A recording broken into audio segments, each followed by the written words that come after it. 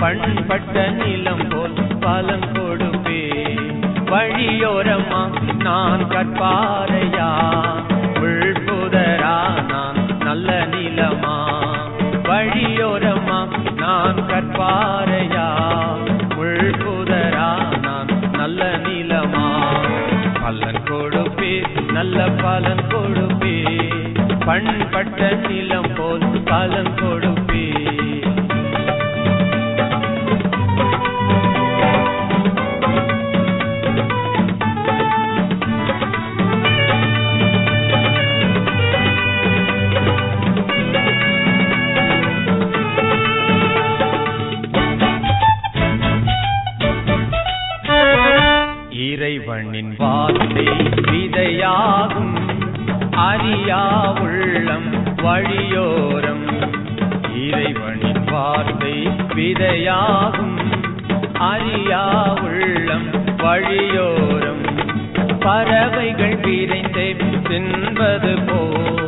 பகைவன் நம் தீயோ பறித்திடுவான்.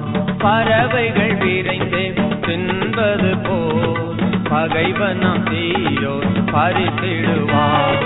பலன் கொடுப்பீர் நல்ல பலன் கொடுப்பீர். பண்பட்ட நிலம் போல் பலன் கொடுப்பீர்.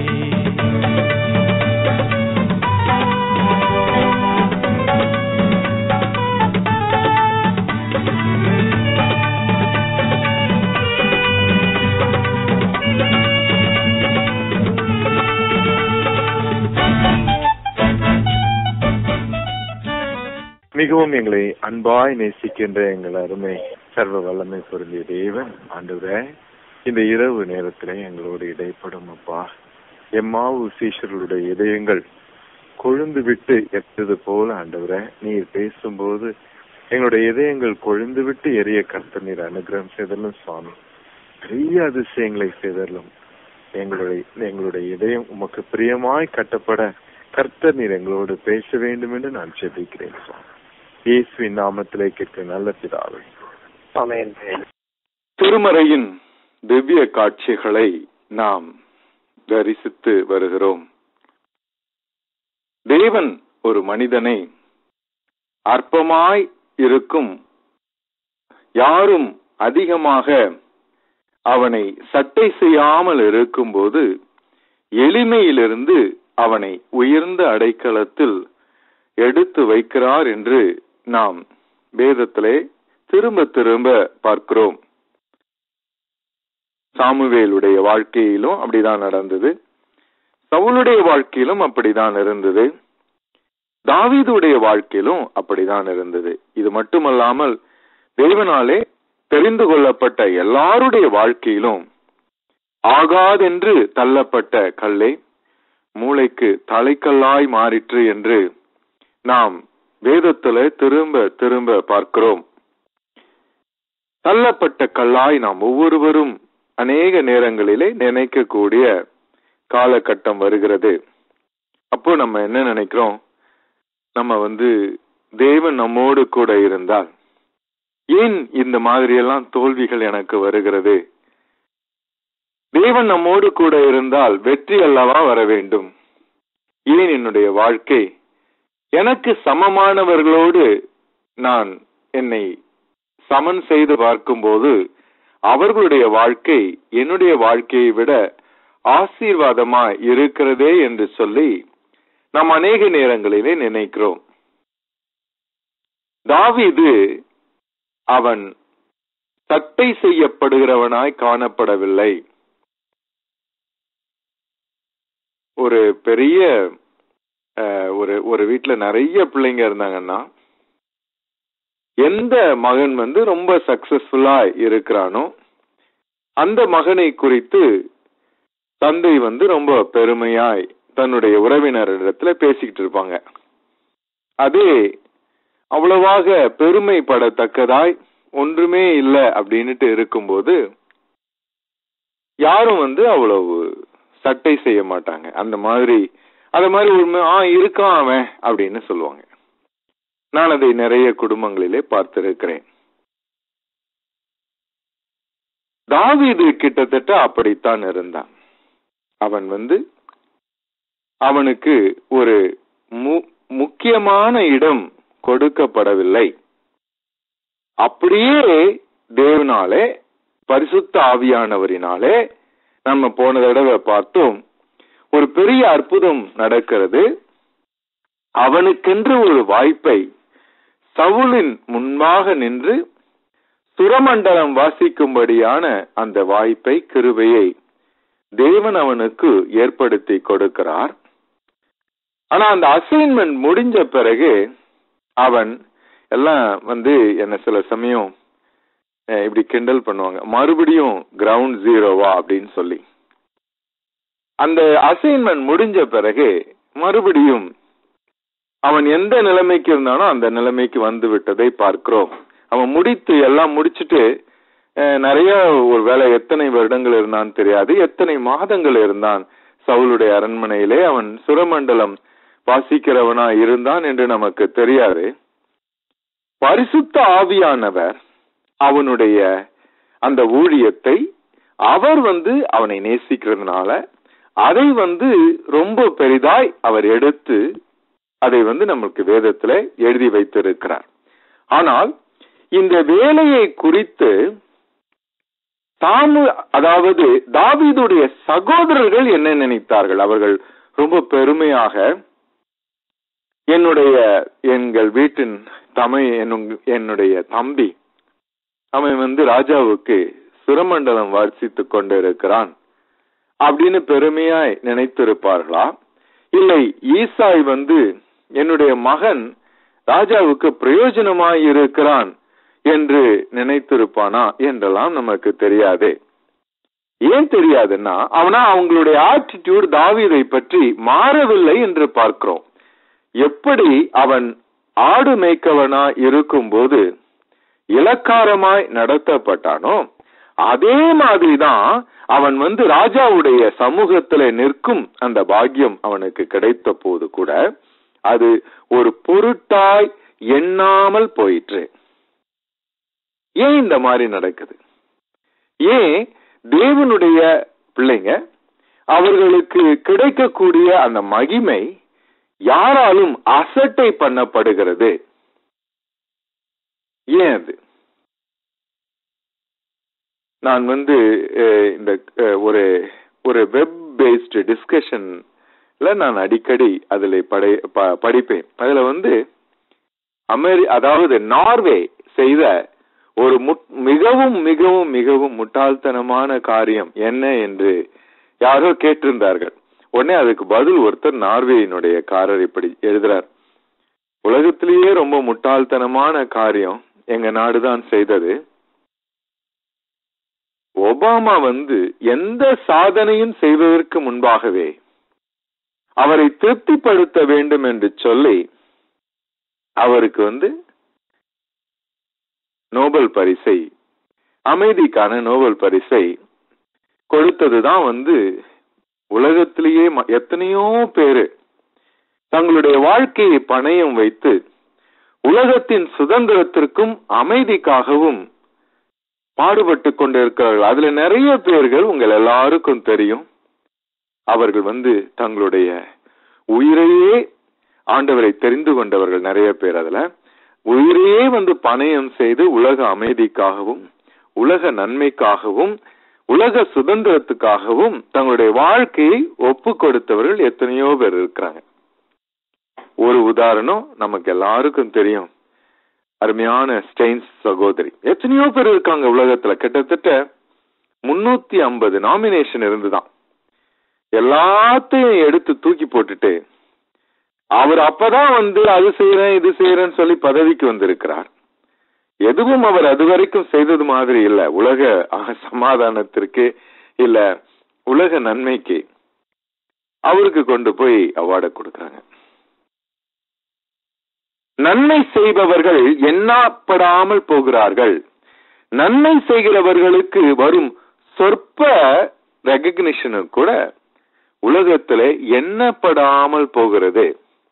யாருக்கு தகுதி இல்லையோ அந்த தகுதி இல்லாத மனிதர்கள் வந்து பிரகாசிக்கும்படியாக இந்த உலகம் அவர்களை முன்னிறுத்துகிறது. யாரிடத்துல அதாவது நான் வந்து எங்களுடைய ஆராய்ச்சி துறையிலே பார்த்திருக்கிறேன். யாரிடத்துல பணம் இருக்கிறதோ அவர்களுக்கு தான் பணத்தை கொண்டு போய் கொடுப்பார்கள். ஏன்? அது வந்து உலகத்தினுடைய ஒரு காரியம் அது. அதே மாதிரி ரொம்ப பிரபலமாய் இருக்கிற டெலி எவாஞ்சலிஸ்டுக்கு எல்லாரும் கொண்டு போய் பணத்தை கொடுப்பாங்க. அவங்களுக்கு ஏற்கனவே நிறைய பேர் கொடுத்து கொண்டு இருக்கிறார்கள். இவங்க சொல்லுவாங்க இல்ல இல்ல அவரு இந்த பணத்தை வைத்து அவர் ஏரோப்ளேன் வாங்கட்டும் அப்படின்னு சொல்லி கொண்டு போய் கொடுப்பாங்க. தங்களுக்கு இருக்கும் வறுமையிலே அந்த பணத்தை கொண்டு போய் கொடுத்து அவரும் அவருடைய பரம்பரையும் ஏரோப்ளேன்ல போறதை பார்த்து ரொம்ப சந்தோஷப்படுவார்கள். கிட்டத்தட்ட தாவிதுக்கு இந்த மாதிரி தான் நடக்கிறது. அவன் எண்ணப்படாமல் போனான். ராஜாவுக்கு மனநிலை சரியாமல் இருக்கும்போது அவனுக்கு ஒரு தெரப்பிய வந்து தாவீது மூலமாய் தேவன் கட்டளையிடுகிறார். ஆனால் அது எண்ணப்படாமல் போயிற்று. மறுபடியும் ஆட்டு மந்தைக்கு போயிட்டான். மறுபடியும் யாராலும் அவ்வளவு அசட்டை பண்ணவனாய் அவனே காணப்பட்டான். அப்பதான் வந்து கோலியாத்துடைய கதை நம்முடைய கவனத்திற்கு வருகிறது. இன்னைக்கு வந்து வேதத்துல இந்த திவ்ய காட்சிக்கு ஆதாரமாக நாம் ஒன்று சாமுவேல் பதினேழாவது அதிகாரம். பன்னிரெண்டிலிருந்து இருபத்தி எட்டு வரைக்கும் யாராவது ஒருவர் வாசியுங்கள். பன்னிரெண்டாவது வசனத்திலிருந்து இருபத்தெட்டாவது வசனம் வரைக்கும். பதினேழாவது அதிகாரம். தாவிது என்பவன் யூதாவில் உள்ள பெத்தலகம் ஊரானாகிய ஈசா என்னும் பேருள்ள எபராத்திய மனுஷனுடைய குமாரனாக இருந்தான். ஈசாய்க்கு எட்டு குமாரர் இருந்தார்கள். இவன் சவுலின் நாட்களிலே மற்ற எல்லா ஜனங்களுக்குள்ளே வயது சென்ற கிழவனாய் மதிக்கப்பட்டான்.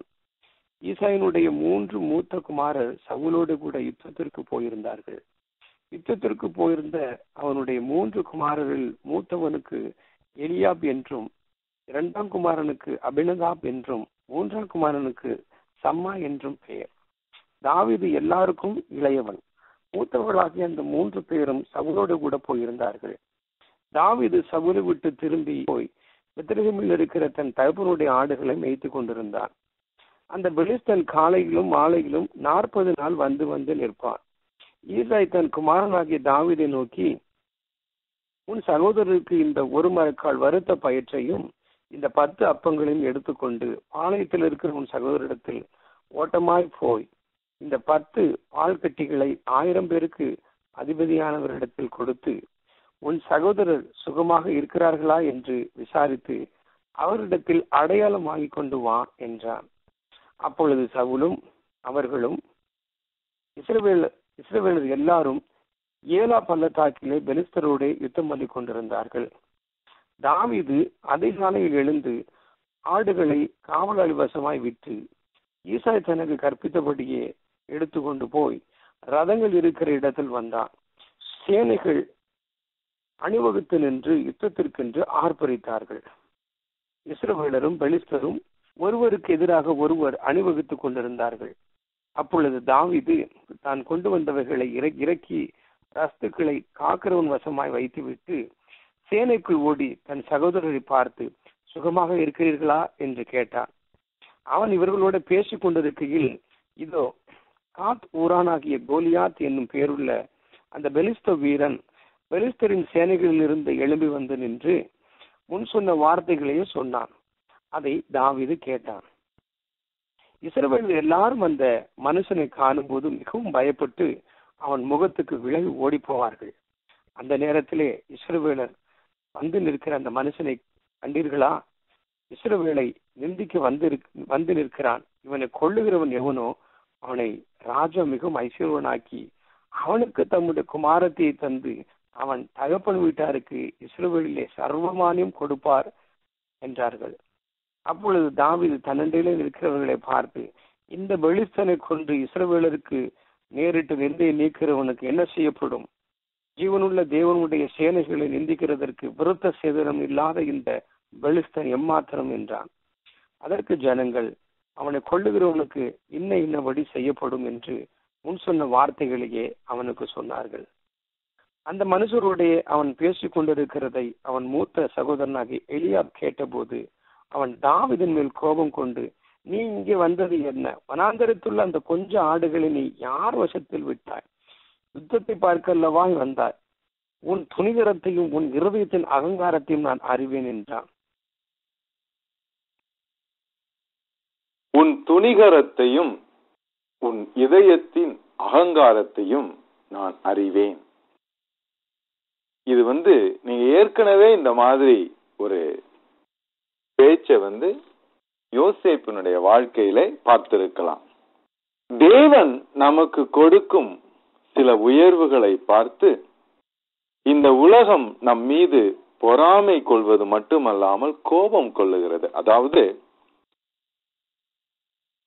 இந்த உலகத்து மனிதர்கள் எவ்வளவாய் உயர்வு அவர்களுக்கு கிடைத்தாலும் அவங்கள பார்த்து பயந்து அவர்களுக்கு சாதகமாய் நடக்கிற அதே உலகம் தேவனுடைய பிள்ளைகளுக்கு கிடைக்கிற ஒரு சில உயர்வை பார்த்து பொறாமை கொண்டு இன்னும் அவர்களை வந்து வெளியில தள்ளி இன்னும் அவர்களை கீழே கொண்டு போய் போட்டுட்டு அவங்கள வந்து என்ன அப்படி சொல்லுதுன்னா அவனுடைய இதயத்திலே அகங்காரம் இருக்கிறது.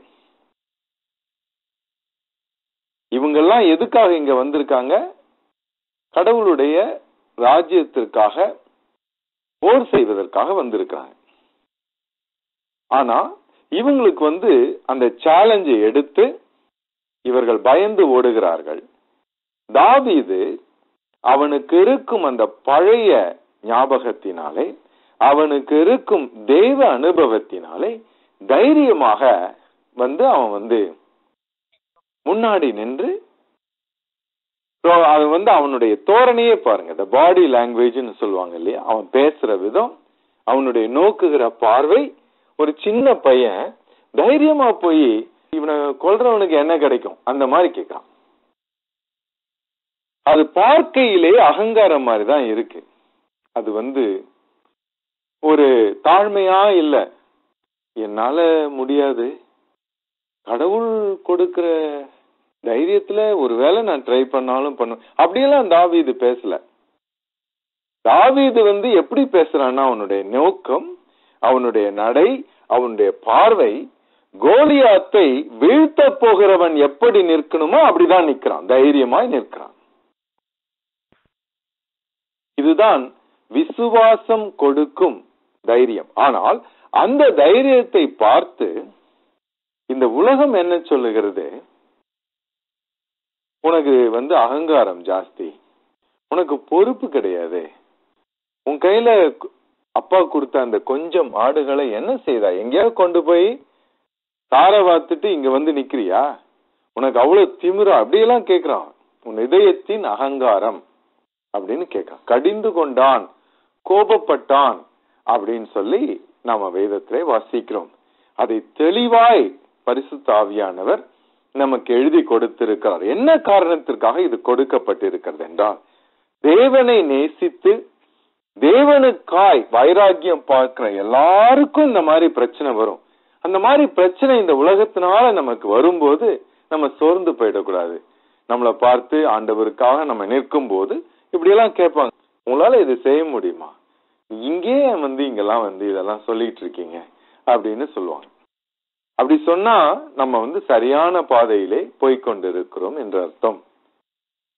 தேவனுடைய தரிசனத்தை பெற்ற மனிதர்கள் அவர்களுடைய பாடி லாங்குவேஜ் வந்து அந்த தரிசனம் உடையவர்களாய் இருக்கிறதுனால ரொம்ப தைரியம் உள்ளவர்களாகவும் ரொம்ப துணிச்சல் உள்ளவராகவும் தங்களை காண்பித்துக் கொள்ளும்படியாய் அந்த உடல் அசைவுகள் உதட அசைவுகள் இருக்கும். அதுதான் நம்ம தாவீதுடைய வாழ்க்கையிலே பார்க்கிறோம்.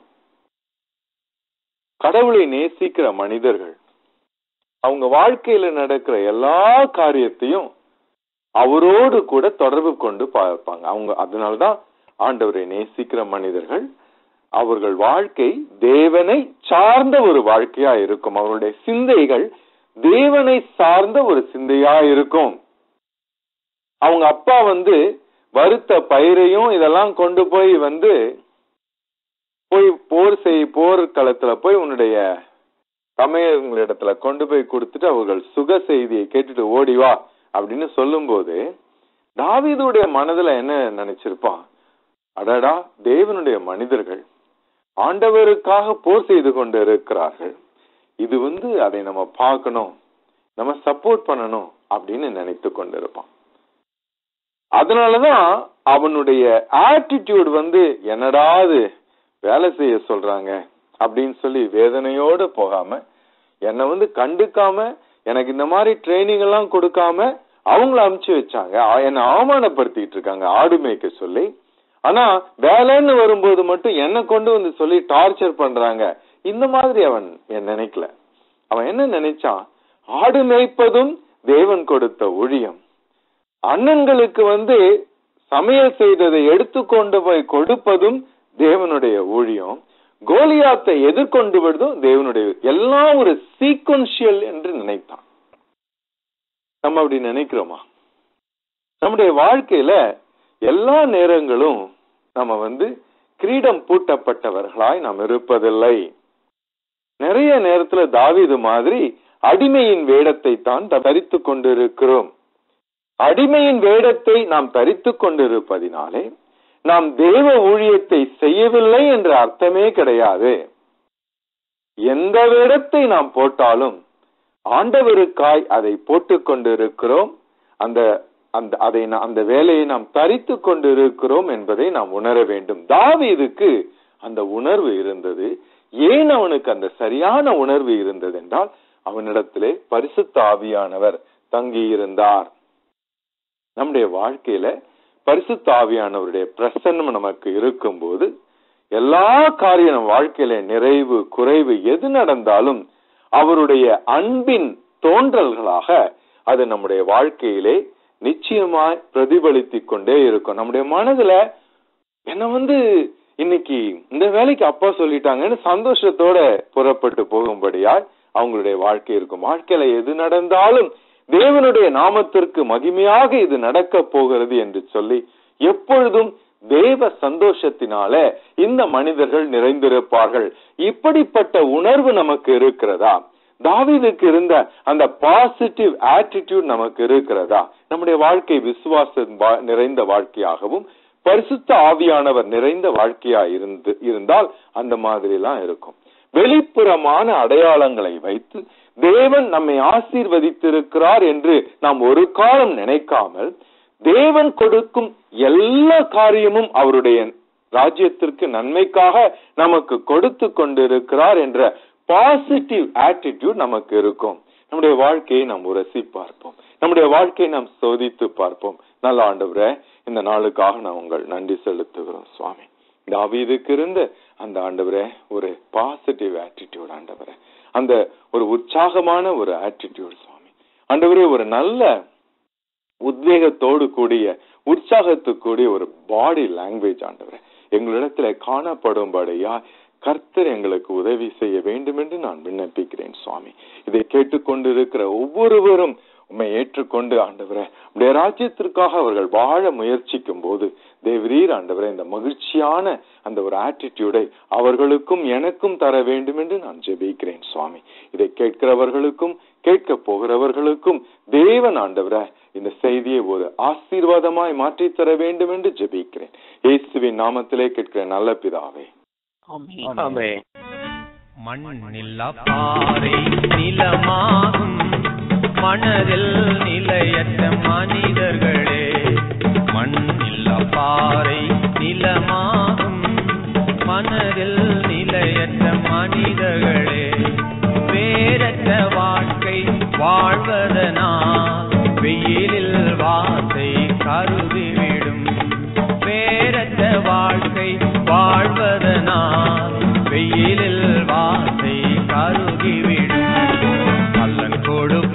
நல்ல பலன் கொடுப்பே. பண்பட்ட நிலம் போல் பலன் கொடுப்பே.